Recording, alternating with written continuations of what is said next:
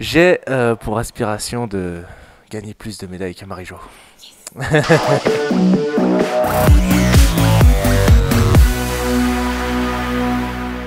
J'aimerais que tu nous racontes euh, ton plus beau souvenir en, en, en athlée. J'ai gagné les championnats d'Europe euh, il y a quelques mois de cela à Berlin en 2018 sur 110 mètres haies. C'était un souvenir exceptionnel parce que le, le parcours chaotique qui a mené à cette médaille a fait, fait que c'est- c'est- cette, euh, cette- cette médaille a une valeur énorme pour moi. Moi je suis, je suis à quoi? Je suis à 4 centièmes du, du record d'Europe.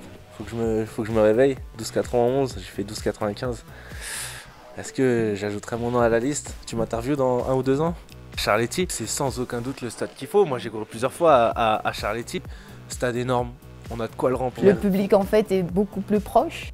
Si au départ, quand il y a un, petit Frenchie là, qui est sur la ligne de départ, qui lève la main, la caméra sur lui et que le public crie, ça va être une ambiance de fou. On va vraiment sentir le public. Venez nous voir au championnat d'Europe, vous allez kiffer.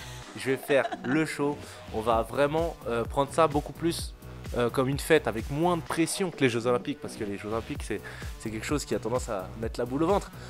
Et les, cha- les championnats d'Europe auront euh, une vision beaucoup plus festive que ça, et on va vraiment vous faire kiffer. Nous, on va kiffer, donc venez nombreux.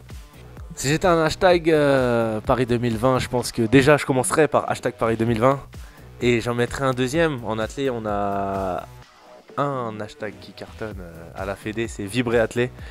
Et je pense que ça, ça coïncide totalement avec ce qu'on va vous faire vivre. On va vous faire vibrer, frissonner. Je vous attends. Yeah.